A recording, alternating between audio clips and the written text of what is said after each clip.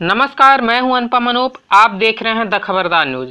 विदिशा ज़िले के कुरबाई के ग्राम तमोइया के नरबाई में लगी आग की सूचना अनुविभागीय अधिकारी श्री वर्मा को मिली।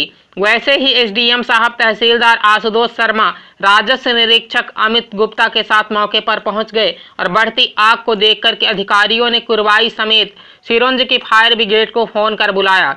लेकिन दमकलों में आने के समय लगने को देखते हुए भीषण आग विकराल रूप धारण करती देख आग गाँव तक ना पहुँच सके। इसलिए अनुविभागीय अधिकारी श्री वर्मा ने ट्रैक्टर और पंजा बुलाकर के खुद ही ट्रैक्टर पर बैठकर आग बुझाने लगे।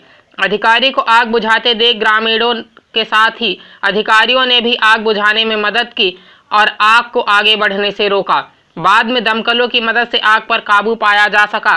चारों तरफ़ एसडीएम के हौसलों की तारीफ़ की जा रही है। अधिक जानकारी के लिए आइए देखते हैं। विदिशा से हमारे रिपोर्टर आशीष सहेले की ये रिपोर्ट। देखते रहिए द खबरदार न्यूज़। जो है हमारे पास मड़ी जागीर गाँव से एक सूचना आई थी कि आग लग गई है तो हमारी एक फायर ब्रिगेड वहाँ चली गई थी। फिर पठारी की सूचना आई तो दूसरी फायर ब्रिगेड हमने वहाँ भेज दी थी। इसी बीच रात के नौ बजे के आसपास फिर एक सूचना आई कि तमोइया गाँव में भी एक आग बहुत फैल चुकी है और वो गाँव की तरफ़ आ रही है।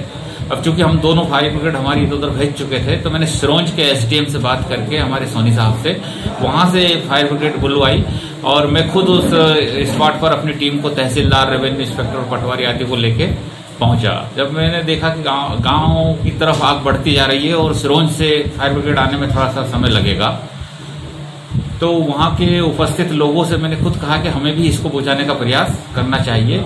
ये खेतों से होती हुई गाँव की ओर आ जाएगी, क्योंकि खेत गेहूँ के हैं। और गेहूँ के जो खेत हैं, उसमें यदि ट्रैक्टर चला करके और इसका विच्छेद कर दिया जाए और इसको आग को बुझाया जाए तो ये संभव है। कुछ लोगों ने मेरे साथ आकर के the Khabardar Hindi news channel के साथ जुड़े रहने के लिए the Khabardar Hindi news channel को लाइक करें, शेयर करें, सब्सक्राइब करें। और अगर आप ये वीडियो फेसबुक पर देख रहे हैं तो फेसबुक पेज को लाइक करें। धन्यवाद।